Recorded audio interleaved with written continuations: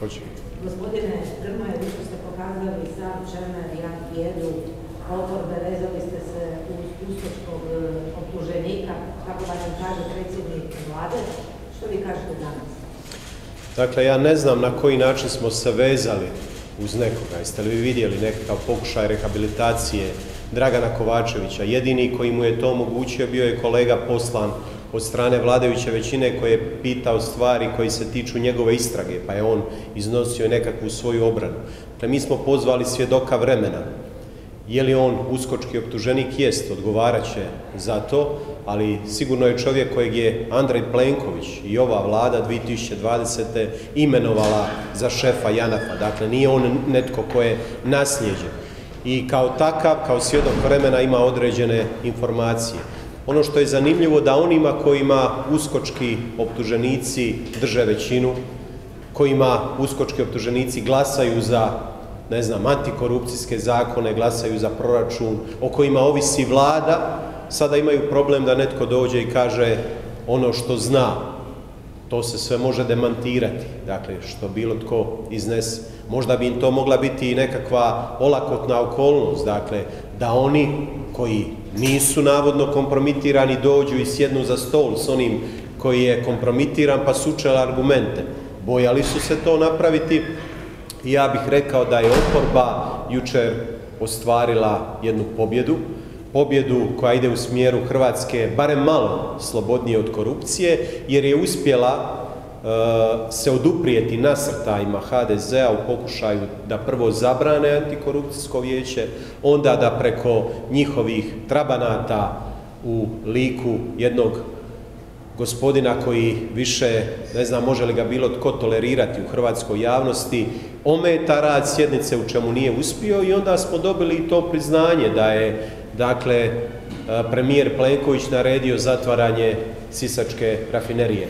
I, I vrhunac večeri i vrhunac jučerašnjeg dana INA u svom službenom priopćenju kaže da se Sisačka rafinerija ugasila uz suglasnost, odnosno u blagos, uz blagoslov oba suvlasnika.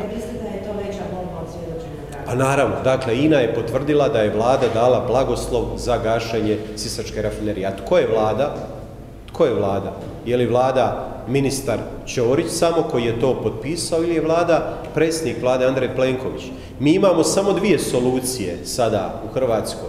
Ili imamo iznimno slabog premijera kojem ministri sami donose najvažnije strateške odluke, što je malo vjerojatno, ili imamo premijera koji nalaže odluke koje su suprotne hrvatskim nacionalnim interesima. To su dvije opcije, ali ima i treća, ja mislim da, da smo sada došli u tu fazu, da imamo premijera koji radi suprotno hrvatskim nacionalnim interesima, ali koji je usto i slabić. Zašto je slabić? Sjetite se, nedavno tražio je da članovi uprave INE daju ostavku, ljudi koje je on imenovao, odbili su to napraviti.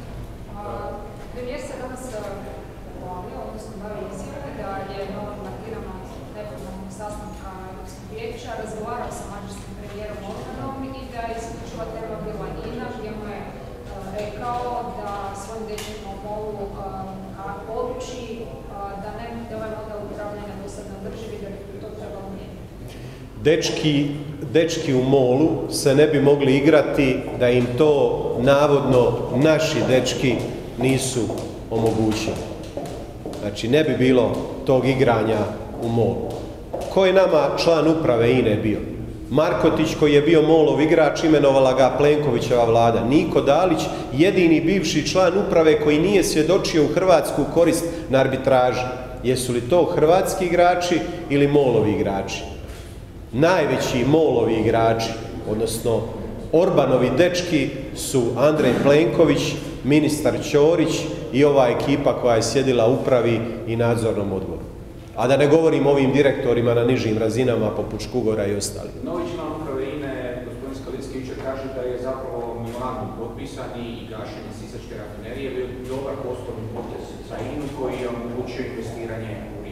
Jeste li vi analizirali sa svojim suradnicima s ljudima koji su bili u tom trenutku u igri oko svega toga, je li to zaista bio dobar poslovni To može biti dobar poslovni potez za INU, to može biti čak i dobar poslovni potez za JANAF koji je na osnovu toga zaradio novce.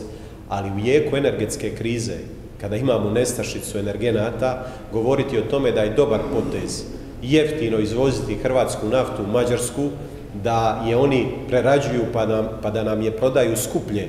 I najluđe od svega, da hrvatski porezni obveznici pra, plate taj link da se to može ovaj provesti je ja ne znam kako se može nazvati drugačije nego teškom veleizdajom. Postoji nešto što su ekonomski interesi kompanija, a postoji, postoji nešto što je energetska sigurnost hrvatskih građana i hrvatska nacionalna sigurnost njima očito ti pojmovi nisu najjasniji. Ni Plenkoviću, ni Ćoriću, ni ovima koji su imenovali u JANAF i u INU.